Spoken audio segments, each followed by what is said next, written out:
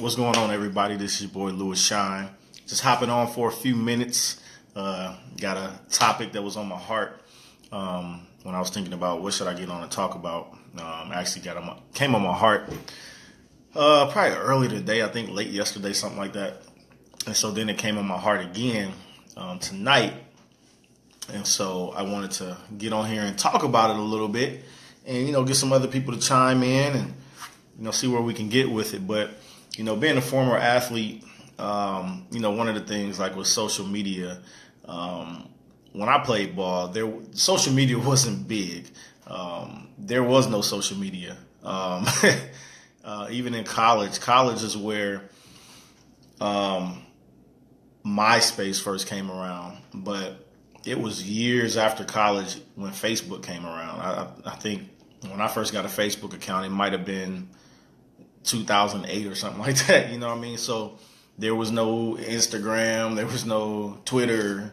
Um, now they might have been around, but I, I, didn't have an account, you know, so I didn't know anything about it, and it, it wasn't as prevalent um, then as it is now, you know. And so I always joke and uh, tell people that, man, if I if I had Instagram, Facebook, Twitter, Snapchat, YouTube, if all those things were happening when I played basketball, I feel like the, with the exposure that social media and the internet gives, excuse me, I would have played at some D1 major D1 school uh, because you instead of trying to to package a VHS tape, um, you know, and send it out to a coach or trying to get a coach from across the country to come and look at you, you can send film, you can send um, a YouTube clip, you can send um, now you can send CDs and, and, just different things that back then was not available. I mean, back when I played, we still was making mixtapes. you know what I'm saying?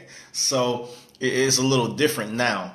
Um, so one of the things like with, with social media and athletes, um, one of the things that is available now is, is these different platforms that um, you can take advantage of, especially if you find yourself as a young athlete, um, high schooler, um, and you're trying to make it to college.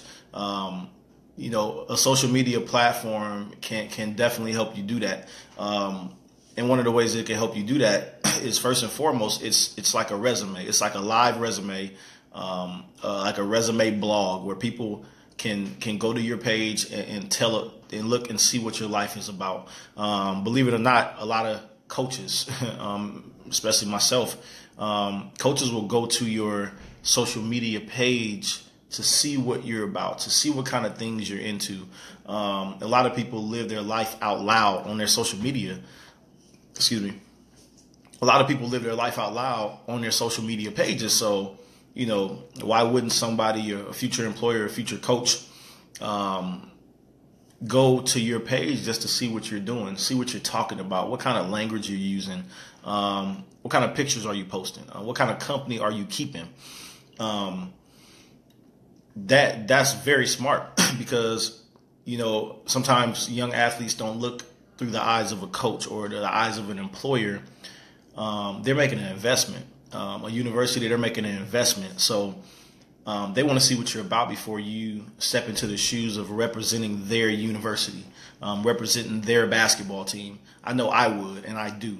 Um, so for any young athletes that are listening, just just know that um, you know what you post on your social media media can potentially open or close doors to your future, um, depending on where you're trying to go, what you're trying to do. Um, and you want to make sure that when you post things, you want to keep that kind of stuff in mind. Um, yes, you're gonna have fun on there, and you talk to your friends and different things like that. But you have to put yourself in the eyes of the people that you might be playing for one day, um, the people you might be working for one day, the schools that you might be going to, and if there's certain things that you're posting or certain conduct that you, that you're keeping up virtually, um, what are they going to think? You know, excuse me. So um, I've heard year after year, there's been colleges that have offered full ride scholarships to athletes, and then an athlete will post something that causes those colleges to take that scholarship away. This happened many, many, many times. Top colleges, um, mid-major colleges, um, because you know by bringing you to their university, they that's an investment. All right, so they're, they're watching your conduct, um, and just speaking to the athletes because I have a heart for athletes. Um, and this is high school, this is college, even college athletes. Let's back up. Even college athletes, um, if you want to make it to the pros, um, if you want to, to to succeed in sports past your collegiate level, um, you got to watch the conduct that you carry on social media. Um, when you post something, it's out there, man. Everybody's watching it. Even people. Here's the thing, and this is so true. Even people that are not commenting, people that are not liking your stuff, um, or people that's not watching your stuff or don't show up.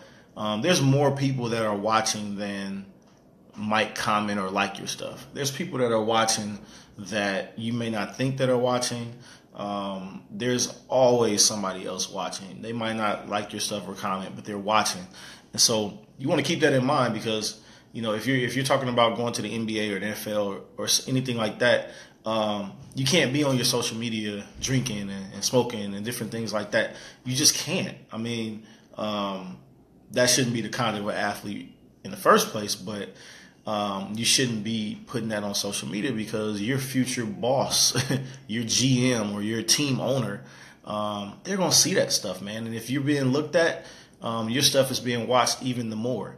You know, so um, you want to make sure that um, you know you keep your, your, your social media clean because, like I say, it's your online resume. It's the one of the very first things that people who are interested in you in any way, shape, or form um, um, whether that's a, a, team owner, a team coach, or employer, they're looking at your social media.